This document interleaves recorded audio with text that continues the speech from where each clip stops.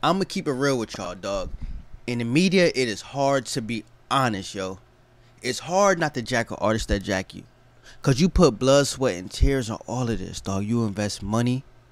You invest at least five hours a day, six hours, eight hours a day doing Instagram posts, doing videos you invest your time. So artists that jack you, you gonna jack them. Now I'm not saying Murda B be jacking Digital Thugz. She got a Digital Thugz tattoo. She she don't even follow me on the gram, but I will say this: out of all the New York drill artists, Murda B is the one that's always showing love, commenting on my videos, be sharing my posts. And the truth is, I'm a big fan of her music, dog. I think she makes good music. She has a dope image, a good personality, and I think she's worthy of a label putting that bag behind her and pushing her out there. I think she's talented.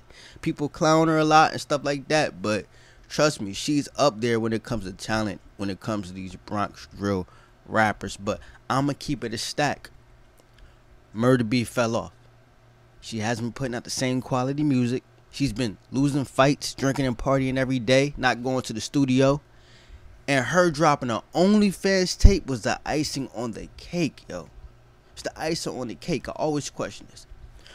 What price would I do OnlyFans if I was to ever go broke or I needed to get up, up, or like, you know, somebody offered this money?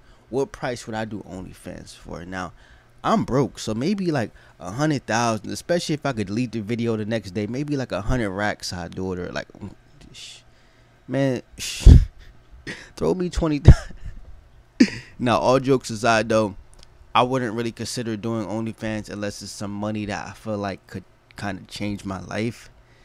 Um, a hundred truth about Murda B and Bandman is this: they're both signed artists that's doing numbers that have respective careers, Instagram followers. There's a lot of rappers in these small towns who would hope and pray and hope and pray them rapping for 20 years, 15 years, 10 years and they hope and pray that they ever get on the level of a BandmanRill and a Murda B.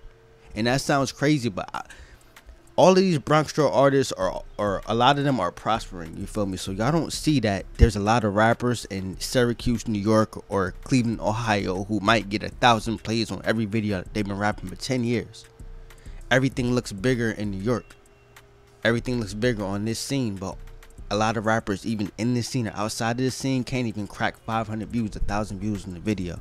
So Murda B and BandmanRill have a good career. They have their sign. They're doing things. You feel me? So the truth is, they shouldn't even be considering even doing OnlyFans unless it was 500,000 to a million or maybe even more.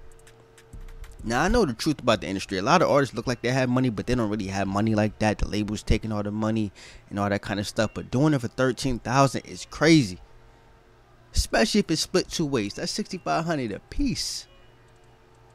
That's 6500 a piece. Now what happened was they they opened up the OnlyFans and it shows how many fans they have, and they had about 200 fans. 200 times 60. That's about 12,000. It was actually over. It was actually around 13,000. You split it up. That's 6,500 a piece. That is not enough for her to be doing that. Now I don't know whose idea it was, but if this was BandmanRill's idea, I suggest Murda B get away. Y'all only been dating for like a month now. You feel me? Murda B is more popping than BandmanRill by like a lot. Don't get the Instagram followers misconstrued or none of that. He's he's more popping than than Murda. I mean, Murda B's more popping than him by a lot. If anything, BandmanRill is like Shy K's little man's.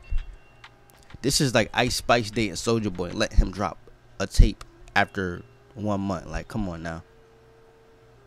Now they took down the tape. People still gonna clown it. Uh, Murda B, if you watching this, you listen to this, get in the studio, get focused. I know you're young, you only 18, 19, but you need some better managers, some better people around you because this was not the right career move, and you worked too hard for this.